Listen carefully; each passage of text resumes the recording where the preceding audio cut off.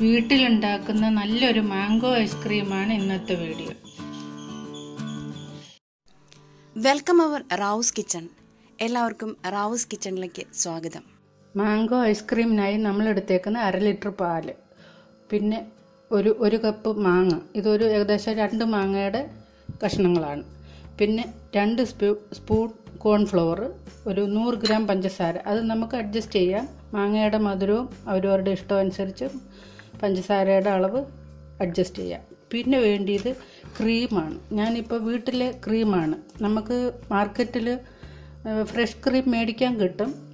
അപ്പോൾ അങ്ങനെയാകുമ്പോൾ നമുക്ക് വേറെ അറിയില്ല പക്ഷേ നമ്മൾ വീട്ടിലെടുക്കുമ്പോൾ നെയ്യിന് നെയ്യിന് എടുക്കുന്നത് പോലെ പുളിപ്പിക്കേണ്ട കാര്യമില്ല. നമുക്ക് പാൽ തിളപ്പിച്ച അതിന്റെ ക്രീം ഫ്രീസറിൽ വെച്ച് ഉപയോഗിക്കാം. ഞാൻ ഇതിനകത്തു നിന്നൊരു രണ്ട് സ്പൂൺ ക്രീമും കൂടെ ഉപയോഗിക്കുന്നുണ്ട്. ഇങ്ങനെ മുട്ടയില്ലാതെ നമുക്ക് മാങ്ങ കൊണ്ടുള്ള നല്ലൊരു ഐസ്ക്രീമാണ് ഉണ്ടാക്കാൻ പോകുന്നത്. അപ്പോൾ നമുക്ക് ഈ മാങ്ങ അഡ്ജസ്റ്റ് മാങ്ങ നമുക്ക് മിക്സിയിലൊന്ന് അടിക്കണം. പിന്നെ ഈ പാൽ നല്ലപോലെ തിളപ്പിക്കണം. അതിന് മുമ്പ് ഇതിനകത്ത് നിന്ന് കുറച്ചെടുത്ത് നമുക്ക് ഈ കോൺഫ്ലവർ ഒന്ന് കലക്കണം. ഇപ്പോൾ നമുക്കിനി പാൽ തിളപ്പിക്കാം.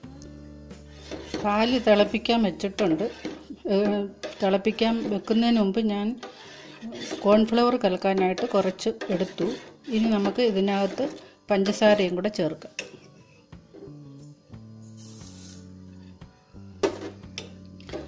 ഇനി ഇത് നല്ലപോലെ തിളപ്പിക്കണം. തിളച്ച് കഴിഞ്ഞ് ഒരു അഞ്ച് മിനിറ്റെങ്കിലും നമുക്കിത് പാൽ തിളപ്പിച്ചെടുക്കേണ്ടതുണ്ട്. കാരണം കുറച്ച് പറ്റണം. അല്ലെങ്കിൽ ഐസ്ക്രീമിന് കട്ടി കാണത്തില്ല. ലൂസായിപ്പോൾ അപ്പോൾ നമുക്കിത് കുറച്ചൊന്ന് ഒരു അഞ്ച് മിനിറ്റോളം തിളപ്പിക്കണം.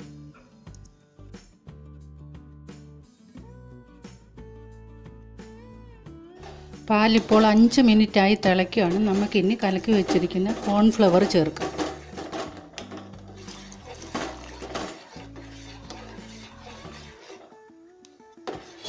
ഇളക്കിക്കൊണ്ടിരിക്കണം അല്ലെങ്കിൽ അടുക്കി പിടിക്കും. ഇതിനി ഒരു നല്ല ഒരു തിക്കായി വരുമ്പോൾ നമുക്ക് തീ കെടുത്താം. അഞ്ച് മിനിറ്റോളം പാൽ തിളച്ചിട്ടാണ് നമ്മൾ കോൺഫ്ലവർ ചേർത്തത്. കോൺഫ്ലവർ ചേർത്ത് കഴിഞ്ഞും ഒരു അഞ്ച് മിനിറ്റോളം നമുക്ക് തിളപ്പിക്കേണ്ടതുണ്ട്. അപ്പോൾ ഇടയ്ക്കിടയ്ക്ക് ഇളക്കണം അല്ലെങ്കിൽ അടുക്കി പിടിക്കും. തന്നെയല്ല പാട കൂടും. പാട കൂടിയാലും അത് ശരിയാവത്തില്ല. കോൺഫ്ലവർ ചേർത്ത് അഞ്ച് മിനിറ്റായി ഞാൻ തിളപ്പിക്കുന്നു. ഇത് കട്ടിയായി നമുക്കിനി തീ കെടുത്താം. ഇത് ഇനി ഒന്ന് ആറണം. ആറിയിട്ട് നമുക്കിനി മിക്സിയിൽ മാങ്ങ മാങ്ങ അടിച്ചതിന്റെ കൂടെ ചേർത്ത് അടിക്കാം. പക്ഷേ ആറി തീരുന്നത് വരെ നമുക്കിതൊന്ന് ഇടയ്ക്ക് ഇളക്കണം. കാരണം ഇതിന്റെ മുകളിൽ പാട കൂടാതെ നോക്കണം. അതുകൊണ്ട് ഇടയ്ക്കിടയ്ക്കൊന്ന് ഇളക്കി ഇളക്കണം. നല്ല ആറുന്നത് വരെ. മാങ്ങ മിക്സിയിൽ അടിച്ചു നല്ലപോലെ മിക്സ് ചെയ്ത് അടിച്ചു. നമുക്കിനി ഇതൊന്ന് അരിപ്പയിൽ അരിച്ചെടുക്കണം. എന്തേലും കരട് വല്ലതും ഉണ്ടെങ്കിൽ മാറ്റാനായിട്ട്. മിക്സിയിലടിച്ച മാങ്ങ അരിച്ചെടുത്തു. ഈ കണ്ണകലമുള്ള അരിപ്പയിലാണ് അരിക്കാൻ പറ്റിയത്. ഇത്രയും നമുക്ക് മാറ്റേണ്ടി വന്നു. പിന്നെ അങ്ങനെ അരിച്ചെടുത്ത മാങ്ങയാണിത്. നമുക്കിനി ഇതിന്റെ കൂടെ നമ്മൾ കുറുക്കി വെച്ച പാലും കോൺഫ്ലവറും കൂടെ ചേർത്തത് നമുക്കൊന്ന് അടിച്ചെടുക്കണം. എന്നിട്ട് ഇത് രണ്ടും കൂടെ മിക്സ് ചെയ്ത് മാങ്ങയും പാലും കൂടെ മിക്സ് ചെയ്ത് നമുക്കൊന്ന് അടിക്കാം. പാലും കോൺഫ്ലവറും കൂടെ ചേർത്തത് ആണിത്. നമുക്കതിന്റെ കൂടെ രണ്ട് സ്പൂൺ ക്രീമും കൂടെ ചേർക്കാം.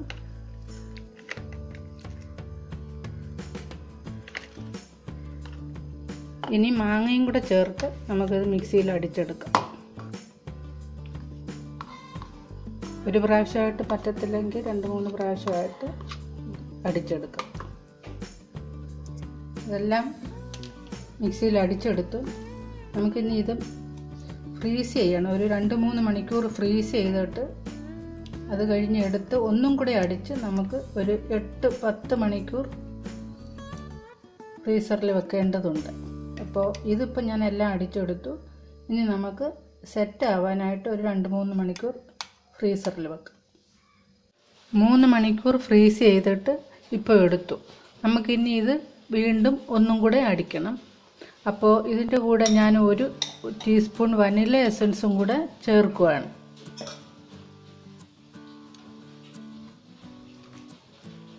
ഇനി നമുക്ക് അടി അടിക്കാം.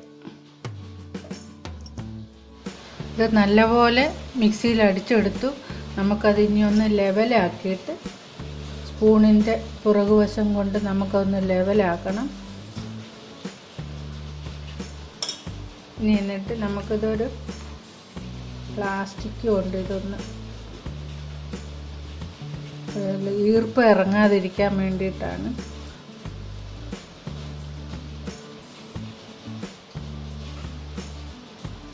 അടച്ചു വെക്കുക എന്നിട്ട്. എന്നിട്ട് ഓവർ നൈറ്റ് നമുക്ക് ഫ്രീസ് ചെയ്യാം.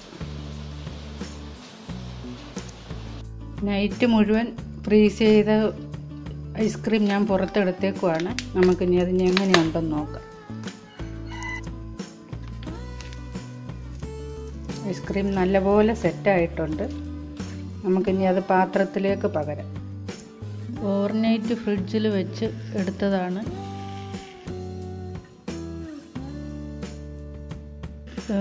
ചിന്തിക്കാനുള്ളത് അതിന്റെ സെറ്റിങ്സ് നമുക്കൊന്ന് റീസെറ്റ് ചെയ്യണം. സാധാരണ അടുക്കള സാധനം വെക്കുന്ന ആ സെറ്റിങ്സ് പോരാ. കുറച്ചും കൂടെ ടെമ്പറേച്ചർ കുറഞ്ഞ രീതിയിൽ വെക്കണം. അങ്ങനെ നമുക്ക് വീട്ടിൽ തന്നെ ഉണ്ടാക്കാവുന്ന പ്രിസർവേറ്റീവ് ഒന്നും ചേരാത്ത നല്ല ഒരു ഐസ്ക്രീം ഹെൽത്തി ആയിട്ടുള്ളത് കുട്ടികൾക്ക് കൊടുക്കത്തക്കോണം ഉണ്ടാക്കാം.